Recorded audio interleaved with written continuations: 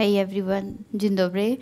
Um, I am Gursharanjit Kaur. I am a PhD student working with Machik and Anjita. So today uh, I'll be talking about uh, uh, one of the very interesting things for us astronomers and people in general because Betelgeuse, we'll discuss, it's a star and uh, we are speculating that it might go supernova soon and we see it in our sky. And if it goes supernova, then it would be for humanity after 400 years, we'll be seeing a star in our galaxy go supernova. So it's a very exciting event if this happens in our lifetime. So I'll dis discuss this. Okay, so this is the Orion constellation. This is how the Greek astronomers saw it, and this is how we define it. So, but most, and it's a winter constellation. We see it in winters in the northern hemisphere, in India and in Poland, and all the countries in the northern hemisphere. This is how we see it, a very easily recognizable constellation. And it has mainly these seven prominent stars, and these have their names. And this guy, uh, which is have a different color, bit orangish. And this is how it looks in winter, bit orange. This is uh, this is called Betelgeuse or Betelgeuse, and maybe in Polish uh, there is a different name for the stars. Yeah, so these are the seven stars, and and this guy is red, and this is one of the clues. Like uh, that, that's how we know that it might go explode soon. And we'll see why is it red and why rest of are not. And this is also a question, will it go kaboom soon or not? Yeah. So let's find out.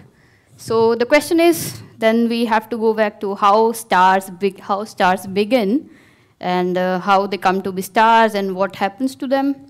So this is a very famous photo by the James Webb of the Carina Nebula.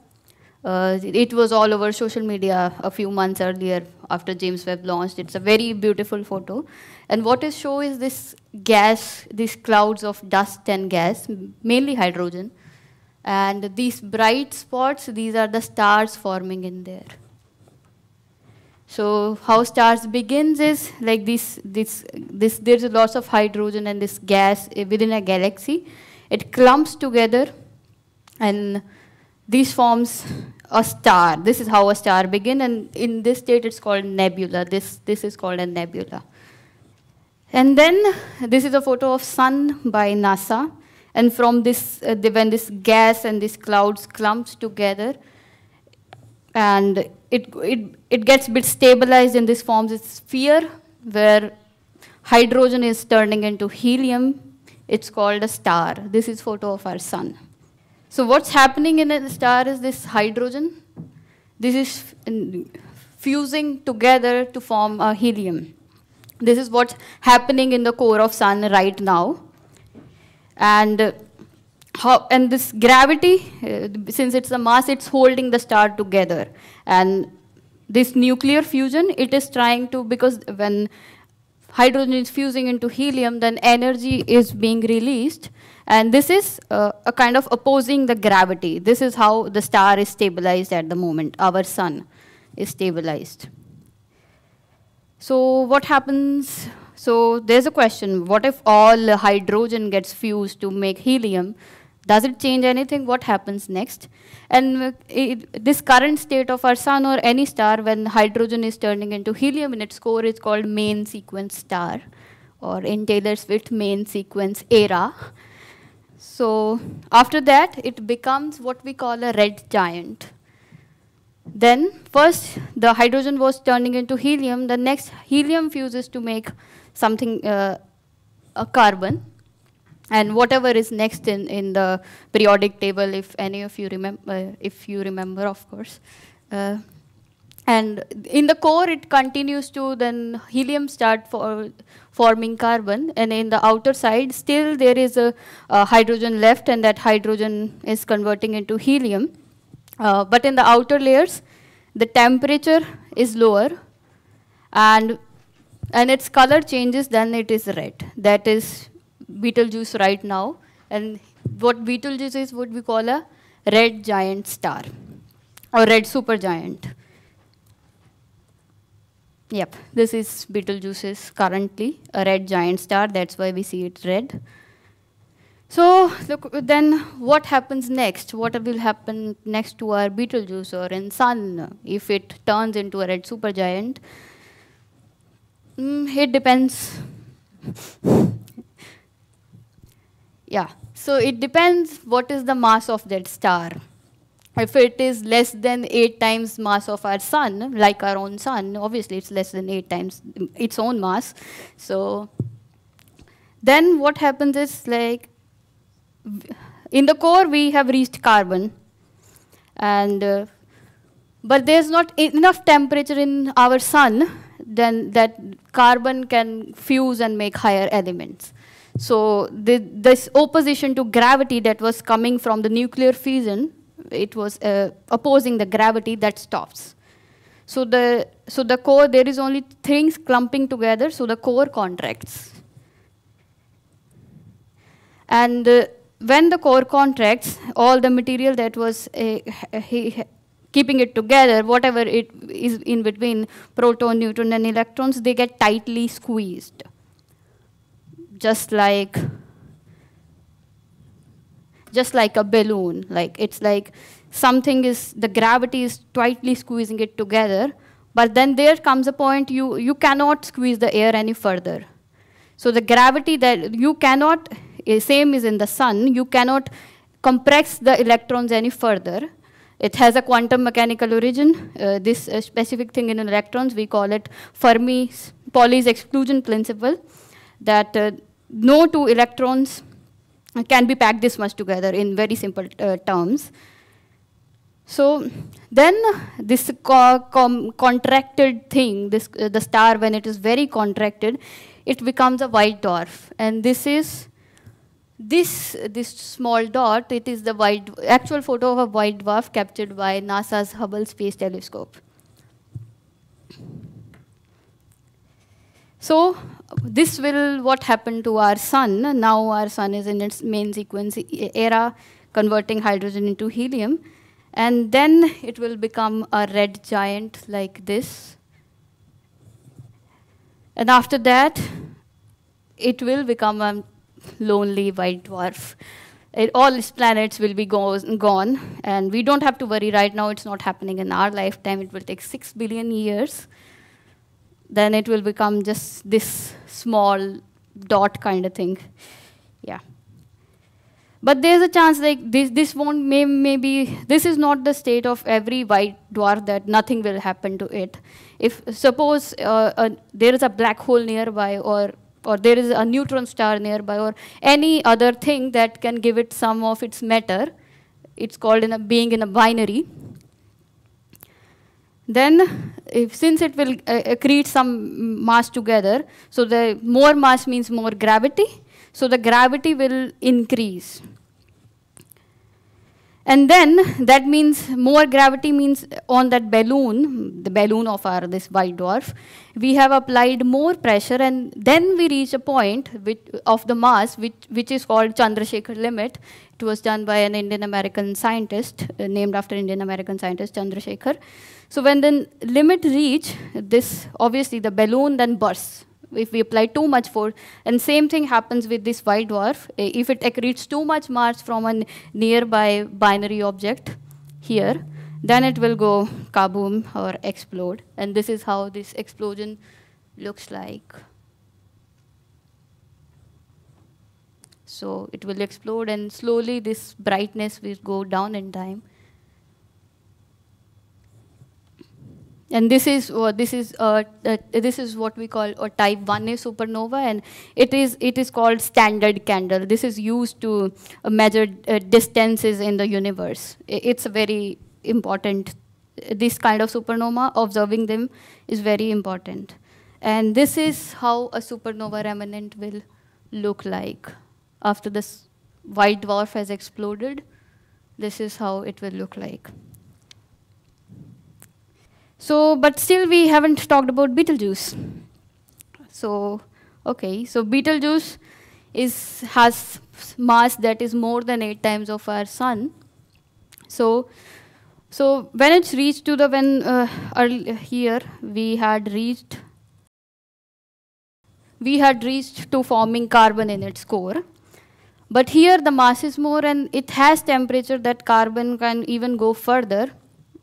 Uh, carbon can fuse even further to make higher elements. Then carbon forces to make neon and neon goes to make to further. And finally we reach iron.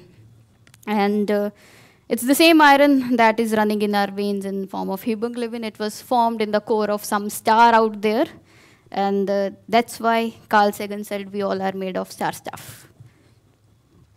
Okay, but to iron is the one of the most stable, uh, it's the most stable element in terms of binding energy. So to, to, to, to make something out of iron, we need to give it energy. It, it requires energy but there is nothing uh, we uh, th there is no energy to do that in the uh, core of a star like this so when it forms iron then there is nothing to oppose gravity because iron uh, the, the nuclear fission stops. Iron cannot go into some uh, go become something else and there will be energy. It, it requires energy. So again we reach the same point like there is nothing to oppose gravity and the co core collapse. And everything again becomes squeezed together, but this time since the mass is more, the electrons are captured by proton and they become neutrons. The positive charge of electron, uh, the, the, positive charge of a proton and negative of electron and they become neutral to form neutrons. And then comes a point due to uh, that neutrons cannot be even further, we, they cannot be tightly packed because of the nuclear forces. At some point, although it is attractive, but at small, very smaller distance, they become repulsive. You cannot contract them any further. So, so these, all these things become too tightly packed and it becomes very dense and that's what we call a neutron star. And when this, uh, all in the core, everything is very tightly packed. And it, this happens if the mass of the core is small, that is three times the mass of our sun. And if the core is too tightly mm, packed, since everything was clumping together, and suddenly it stops in the middle, then the mass that was falling towards the core from outside, it experiences a barrier, so it gets repulsed away. But the speed is too much, more than speed of sound, it experiences a shock wave. And then the core collapse. Let's see. This is how it should look like. This is what a core collapse supernova looks like. What is the timestamp? Uh, how it's uh, like I, I it's, it's a visualization, I guess. Yes, it's a visualization. And, uh,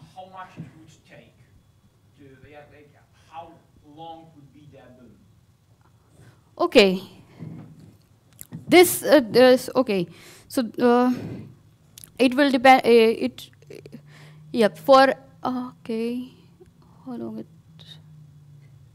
Okay, I got your question. So it it shouldn't last too long. It's same for every star. It it doesn't depend because uh, it's the same mass that uh, makes this thing. It depends upon the mass of star right? It should be in seconds. This boom should be in seconds uh, or even smaller than that because it's a shock wave. It doesn't take too much time, okay?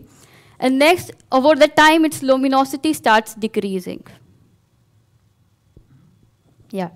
And it would take like the, uh, just the uh, explosion. Yes. Uh, would take uh, years. Uh, no, no, no. The, the explosion the explosion should be it, it should have very small time it, it, it shouldn't take the year but for this to happen like for, for the entire to reach at this point for a star it might take it takes years okay. It takes decades to reach this point but the explosion has a very small time stamp i would say. I, I don't have the exact number. We'll see when betelgeuse goes with our own eyes. So yeah, this will what happened to Betelgeuse, and there was a recent paper which predicted that it might happen in four decades, and we'll get to see it in, with our own eyes. And if this happens, the explosion will look like this, if it's it, it's at night and uh, the it would be so bright that we would think if it's in a day that there are two suns for a brief second. And it would uh, with time the luminosity of, of this uh, explosion will start decreasing. And uh, it looks like this. This is photo of Cara crab nebula by hubble space telescope and this supernova remnant, it has gas, and every material that that star formed, it is uh, scattered in the universe. And this, again, this gas that is there, and uh, everything gets mixed together, and a new star forms. And this is how stars keep dying, and then new stars keep taking birth in our universe. And the other case, that was the case when the, it becomes a neutron star. But in case the mass is of the core of that red supergiant is more than three times mass of our sun, then uh, it, the mass is too much that nothing can stop it contracting, uh, getting very compact. Like earlier there was this uh, nuclear repulsive forces which at one point it stopped and there was core collapse super but in that case nothing happens. It gets too much clumped together very compact and they become a black hole. It's called a stellar black hole. If a star makes a black hole. Yeah. So the uh, fatima the next talk she will discuss more about uh, black holes. So yeah. Thank you